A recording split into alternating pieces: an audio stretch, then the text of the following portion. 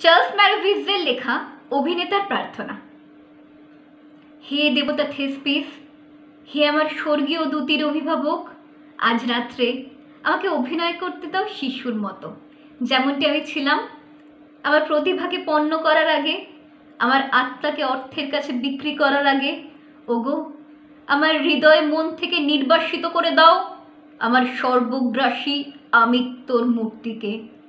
ব্যক্তিগত আমির বিরাট চরিত্র ছায়াকে আমাকে নিঃস্বার্থ করে দাও। আমি যেন ফিরে পাই জীবন্ত সংযোগ আমার সহ অভিনেত্রীদের সঙ্গে। হে থেসপিস, আমায় রক্ষা করো। সেই লোভনীয় মুহূর্তগুলো থেকে যেখানে নিজেকে অসাধারণ বলে বিশ্বাস করি আমি। বিশ্বাস করি ছাপার অক্ষরে বোদ্ধারা প্রশংসায় ছেয়ে দেবে আমাকে ওই মুহূর্তগুলির জন্য। আমাকে শুধু নির্মাণ করতে দাও আমার মুহূর্ত। আত্মকেন্দ্রিকতা আর আত্মপ্রশংসাকে দূরে রেখে আমাকে অনায়াসে ভেসে যেতে দাও এক মুহূর্ত থেকে আর এক মুহূর্তে। আমাকে শক্তি দাও। আমি যেন ক্ষমা করতে পারি। আমার সেই সব সহ অভিনেত্রীদের যারা চাতুরিয়ার কৌশলে আমাকে ঠেলে দিতে চায় মঞ্চের পশ্চাৎভাগে আর নষ্ট করতে চায় আমার অভিনয়। নির্বাপিত করো আমার ক্রোধ। যে ক্রোধ বর্ষিত হতে চায় সেই সব মানুষদের প্রতি যারা আমার মহৎ প্রবেশের সময় মঞ্চের পাশে কথা বলে যায় অনর্গল আমাকে রক্ষা করো। অস্ফুট সংলাপ বলার থেকে, অনর্থক বিরতির ইচ্ছা থেকে, অপ্রয়োজনে সময় নষ্ট করে নিজের অভিনয়কে দীর্ঘায়িত করার পাপ থেকে। আমার স্পিরিট গাম যেন থাকে গাঢ়, সুদৃঢ় থাকে আমার গুম্ফ শ্বশ্রু ভাড়া করা পোশাকে যেন হেঁটে যায় দৃপ্ত পদক্ষেপে। ভুল স্থানে রাখা আসবাবের বিকট শব্দ, দেরিতে ওঠা আলো, অনুপস্থিত সরঞ্জাম, অথবা আমার শ্রেষ্ঠ শব্দগুলি উচ্চারণের সময়, নিয়ম ভেঙে সামনের সারিতে বসে কাশতে থাকা ভদ্রমহিলা যেন ভীত না করে আমাকে। যবনিকার পুনরুন্মোচনে সামিল হতে যেন দেরি না করি। দর্শকের প্রশংসায় যেন না ঝরে লোভ আমার হাসিতে।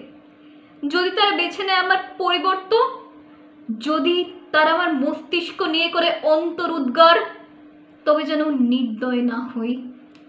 আমাকে ইচ্ছা শক্তি দাও অভিনয় করে যাওয়ার। যদি সামনে বসেও থাকে একদল নাম গোত্রহীন নির্বোধ, বন্ধুর অন্তরাল বিষ যখন আমাকে নিক্ষেপ করে অসফল অভিনয়ে মৃত্যু পথযাত্রী ক্যান্সার রোগীর মতো, তখনও যেন অভিনয় করে যেতে পারি পূর্বাপর। আমাকে স্মরণ করিয়ে দাও, যদি তা বিস্তৃতিযোগ্য হয়ও, জীবনের পুষ্টি যোগায় শিল্প, থিয়েটারও তাই। পরিবেশ হয়তো উন্নত নয় খুব, বহিরঙ্গও নয় জৌলুসময়, তবু যেন না ভুলি, চারপাশ ঘিরে রয়েছে সেই সব ছোট ছোট গৃহ, যেখানে সাধারণ মানব মানবী কফি গরম করে, অথবা রুটি সেকে। আমার জীবনকে শিল্প হতে দাও। আমার শিল্প তো শুধু আমার জীবিকা নয়। আমাকে বাঁচতে দাও আমার শিল্পে।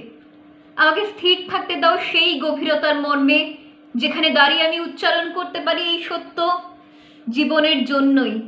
জীবনকে পূর্ণতার লক্ষ্যে পৌঁছে দিতেই আমার শিল্প চর্চা শিল্পই আমার যথার্থ পরিক্রমা। আমার শিল্প আমার বেঁচে থাকা আমার জীবন আমার সংহত বিনাশ। ভাষান্তর কৌশিক চট্টোপাধ্যায়।